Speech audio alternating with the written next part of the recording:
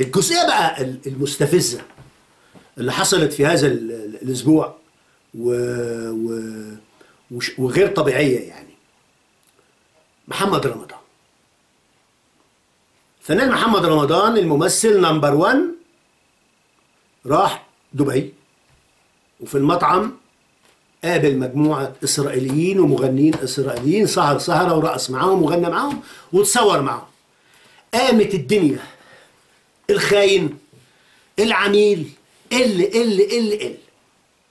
طيب أنا كوجيه رؤوف موقفي إيه؟ أنا كوجيه رؤوف أنا لا أكون العداء لحد لأني إنجيلي قال لي أحبوا أعداءكم. ما بكرهش حد مش هطلع أغني أنا بكره إسرائيل بس أنا بحب مصر. على فكرة لما تكون ما بتكرهش حد مش معناها إنك بتحبه. يعني أنا أقول أنا ما بكرهش مثلا خالد. بس مش معنى اني ما بكرهش خالد يبقى بحبه. يعني ممكن أبقى بالنسبة لخالد عادي خالد عادي بالنسبة لي. خالد عادي. آه لكن ما هوش حبيبي ما هوش صاحبي ما هوش فريند لكن ما بكرهوش. دي الحياديه أنا ما بكرهش فلان يبقى لأن أنا إنجيلي قال لي ما تكرهش. فأنا مش هكره حد عشان عيونك. لأن عشان دي خطية بتتحسب. إحنا بنعامل ربنا. أنا أكره حد خطية الكراهية دي تدخل جهنم. تدخل جهنم. ما بكرهش حد. حتى لما بقول بعارض مثلا سيادة ال- اللواء ولا سيادة ما بقولش أنا بكرهه. أنا بعارضه. لكن لكن مش بكرهه. وكلمة مش بكرهه مش معناها بحبه.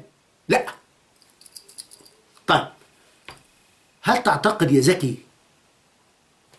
يا يعني يا, يا, يا وطني إن محمد رمضان بيخطو خطوة في جمهورية مصر العربية أو خارج جمهورية مصر العربية بدون علم النظام والأجهزة السيادية تبقى حمار لو افتكرت كده.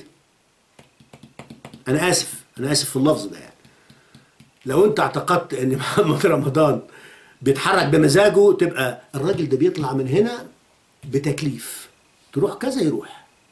شيل يا زكي قدرة يشيل زكي قدرة حط يا زكي قدرة يحط زكي قدرة ده محمد رمضان. محمد رمضان اللي اتدبرت له قبل كده إنه لقوا معاه شوية أسلحة في العربية واخدوه على المركز عشان يقول الحقوني وتحقق معاه. اتحط تحت جناح الدولة. ومن ساعتها الدولة ربته ودخلته الجيش تاني قالت له أنت ما قضيتش التجنيد وتعالى ودخلته الصاعقة وعملت له فيلم وربته. حتة حتة. هل محمد رمضان أحسن ممثل في مصر؟ لا مش أحسن ممثل في مصر. هو ممثل جيد وممثل كويس وبيمثل حلو بس في اللي أحسن منه. بس ليه بقى؟ محمد رمضان محطوط على الحجر. محطوط على الحجر. بيخدم أجندة النظام. طيب عايزين نعمل بلبلة؟ آه نطلع ده. زي مثلا نطلع رانيا يوسف بدون بطانة. اوعى تفتكر النظام مش وراها لا ما وراها. ومعاها اوعى تفتكر الحاجات دي لا كل ده متخطط نخلي الناس تتقلب شوية. نعمل مشكلة مع فلانة الفلانية تطلع نقلب الن... آه طيب ماشي. عملنا الحركة دي وقلنا لمحمد رمضان نروح هناك. راح هناك. اتقلبت الدنيا. طيب اعمل كذا يا محمد آه اتأسف يا محمد شوف الشعب. ماشي. الشعب تقبل رجوعه تمام يرجع محمد رمضان ويرجع أقوى مما كان. لا الشعب رفضه تماما. واتحرق طز.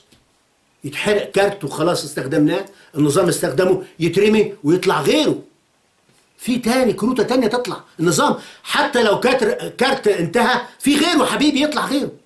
نجح وكمل يكمل ومعاه النظام يعمل له support فهمتوا اللعبة إزاي؟ فهمتوا اللعبة إزاي؟ يعني. يعني من الأول للآخر كده سيبكم من النقابة وسيبكم من الإقا... كل ده تمثيل في تمثيل. وإحنا عايشين في مسرحية كبيرة. كل ده نصب. كل ده نصب. عشان تبقوا بس إيه فاهمين الدنيا ماشية إزاي. دي الجزئية بتاعت بتاعت محمد رمضان. لكن الجزء بقى اللي هو طلع لي أحد الأصدقاء. هو يدعي إن هو ليبرالي لكن الحقيقة إن هو مش ليبرالي. الحقيقة إن هو سلفي أصيل. كتب بوست وأنا دخلت له على البوست وناقشته فيه. كتب بوست يقول لك هل من الطبيعي إن إحنا كشعب نرفض إقامة دولة إسلامية في مصر. ونرفض آه نرفض إقامة دولة إسلامية في مصر. ونسمح بوجود دولة يهودية على الحدود. تاني البوست بيقول كده. هل من المعقول إن إحنا نسمح إن إحنا نرفض إقامة دولة إسلامية في مصر؟ ونسمح بوجود دولة آه، يهودية على الحدود؟ واضح إن نوع المشروبات المنتشر اليومين دول آه، رديء يعني. يعني واضح إنه رديء يعني لدرجة إن واحد على الفيسبوك مش عايز يسمح لدولة بالتواجد على الحدود.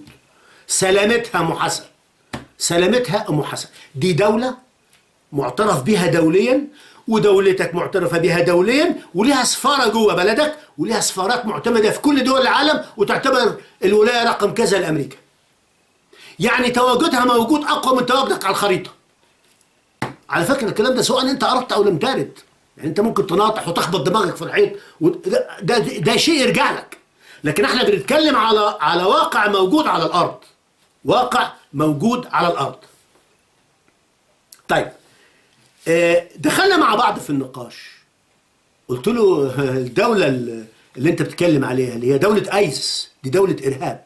لكن الدولة اللي موجودة دلوقتي مش دولة إرهاب. الله. أنت عايز تجيب لي ايسس أو ال أو ال أو داعش زي دولة آه، إسرائيل؟ بأمارة إيه؟ طب ما ندردش مع بعض ونمشي حتة حتة.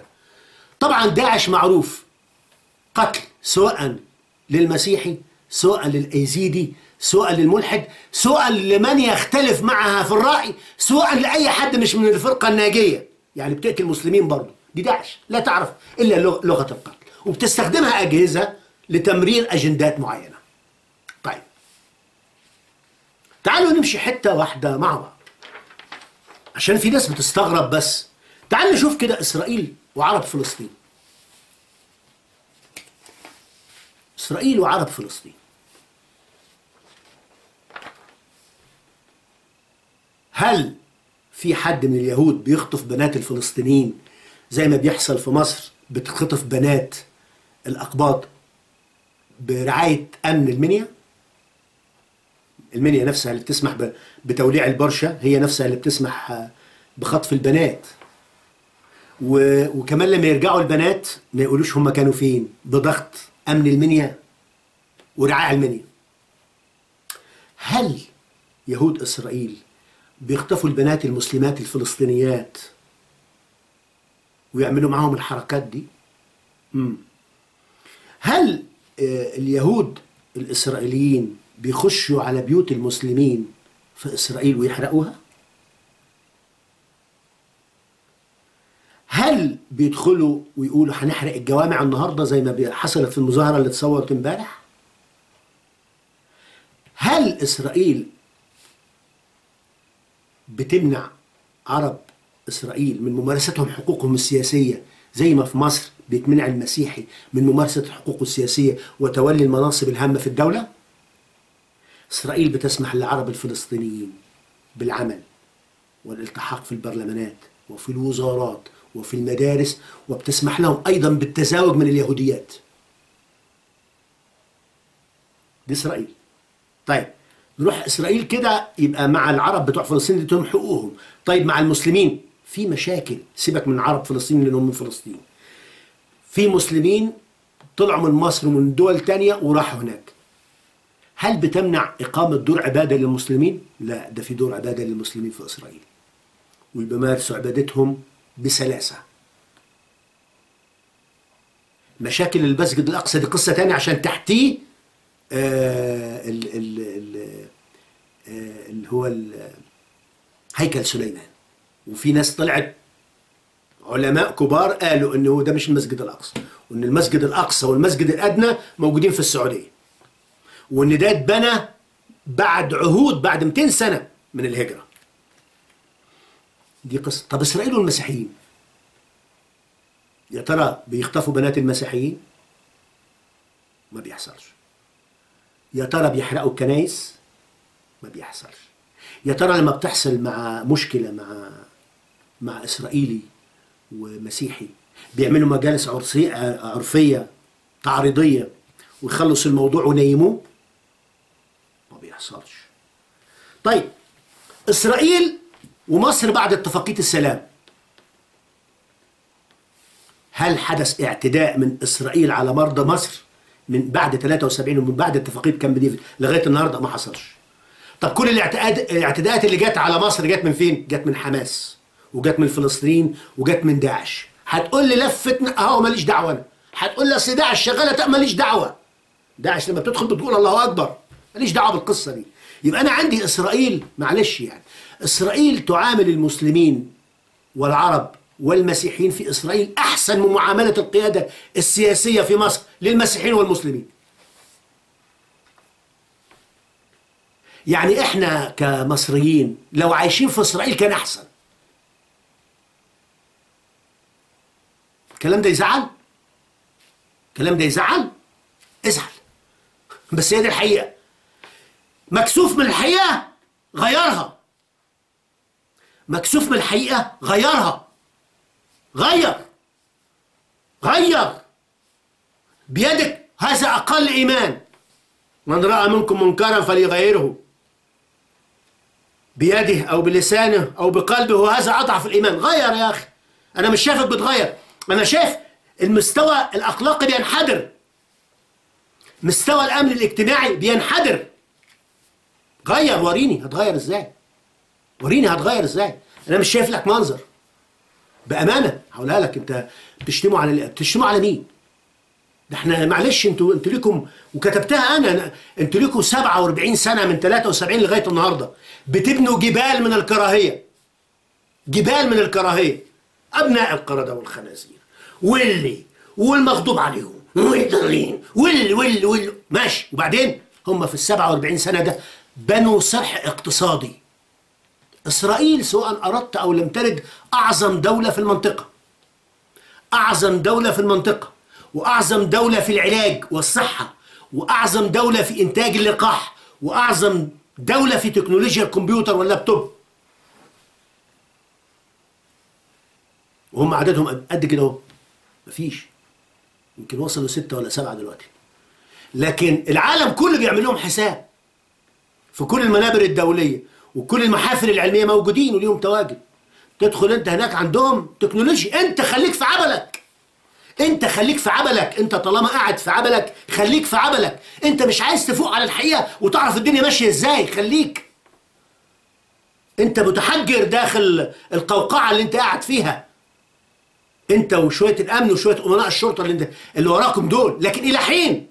إلى حين؟ يبقى كده أنا برورت لكم. لما نيجي نتكلم ونتكلم صح اعرفوا أنتوا فين. اعرفوا أنتوا فين من الخريطة العلمية؟ اعرفوا أنتوا فين من الخريطة الجغرافية؟ اعرفوا أنتوا فين من الخريطة الأخلاقية؟ الثلاثه أنتوا فاشلين فيها. الخريطة العلمية والخريطة الجغرافية والخريطة الأخلاقية والخريطة الاقتصادية. فشل. مفيش مؤسسة ما, ما, ما لمسهاش الفساد. مؤسسة القضاء ومؤسسة الأمن ظلموا الرهبان. والرهبان الأبرياء و و وافتروا عليهم وفبركوا لهم قضية وهم أبرياء من قتل أنبابي فانس اللي قتلوا النظام. دي الحقيقة اللي أنا بقولها لكم. أنا بقول لكم كلام ممكن تعرفوه بعد 30 40 سنة يتضح الحقيقة بتاعته. بس بقول لكم من دلوقتي عشان لما تعرفوه أو أحفادكم يعرفوه يعرفوا إن وجيه رؤوف في يوم من الأيام قال الكلام ده. الحقيقة اللي أنا بقولها لكم لازم تعرفوها لأن غصب عنكم لازم تعرفوها. لازم تعرفوها.